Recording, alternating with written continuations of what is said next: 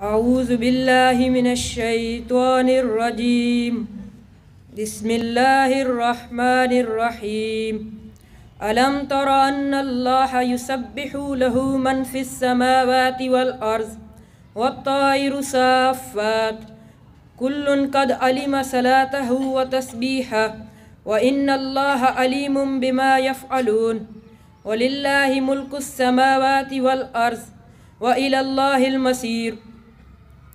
یہ آیات صورت النور کی آیات ہیں۔ ان آیات میں اللہ تعالیٰ اللہ تعالیٰ فرما رہا ہے کہ اس دنیا میں جو تمام مخلوقات ہیں، اللہ تعالیٰ کی پاکیزگی بیان کرتی ہے۔ پہلی آیت میں بتایا گیا ہے کہ اس اس زمین و آسمان میں جو کچھ ہے، اللہ کے لیے ہے۔ اور جو تمام مخلوقات چرند پرند انسان، تمام اللہ کی تسبیح بیان کر رہے ہیں۔ اور تمام کو اللہ نے ان کی تسبیح کرنے کا طریقہ بتا دیا ہے۔ حضرت سفیان کے نزدیک کہ یہ دنیا میں جو تمام چیزیں ہیں، آسمان، زمین، پہاڑ، آگ، مٹی، ان سب کی تسبیح یہ ہے کہ ان کے ذمے اللہ نے کام لگا دیا ہے اور وہ اللہ کے اس کام کو بخوبی سر انجام دے رہی ہیں اور یہی ان کی اطاعت ہے۔ اور بعض مفسرین کے نزدیک کہ اس میں بھی کوئی بات نہیں کہ اللہ نے ان کو مخصوص زبان سکھا دی ہے اور وہ اس زبان کے اندر اللہ کی حمد و ثناء بیان کر رہے ہیں۔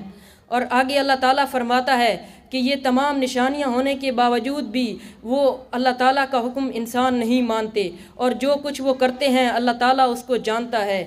اور دنیا زمین و آسمان میں جو کچھ ہے، سب اللہ تعالیٰ کی ملکیت ہے اور اللہ تعالیٰ کی طرف ہی ہمیں لوٹ کر جانا ہے۔ ان آیات میں اللہ تعالیٰ نے اپنی حاکمیت کو بتایا ہے۔